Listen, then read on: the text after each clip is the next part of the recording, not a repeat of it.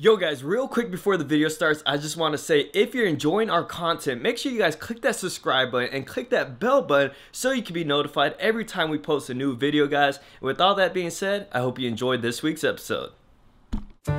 Don't you worry. It's just you and me right now. Chris, what are you doing? Uh, I, I can explain. Are you talking to a piece of chocolate? yes. Yes, I was. There's weird, and then there's you, Chris. Well, are you at least talking to a quality chocolate bar? Of course, it's chocolate from Switzerland, so it's the best. Mm, I wouldn't say it's the best. Have you tried Mexican chocolate? No, why? Chocolate came from Mexico. Wouldn't you want it from the source? Eh, not really. I'm happy with this. Chris, I'm trying to transition so I can explain this week's topic to you.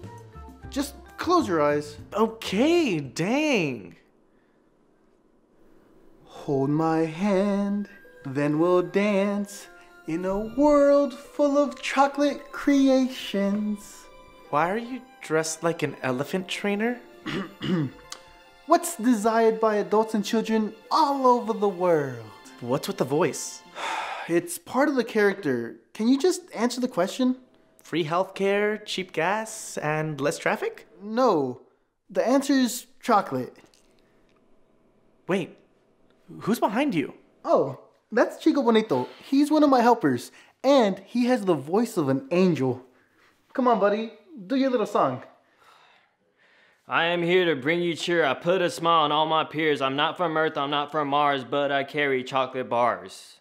I see. So, what's all this about? To fully appreciate chocolate, you need to know where it comes from.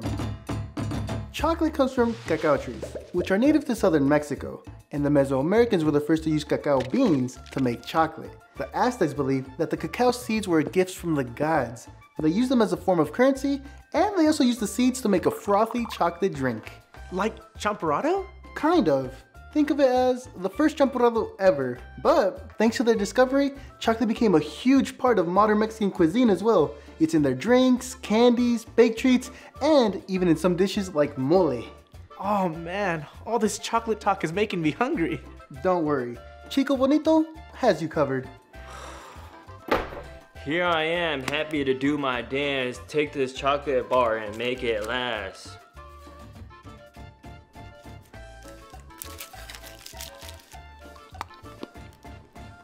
Wow, it has such a rich flavor.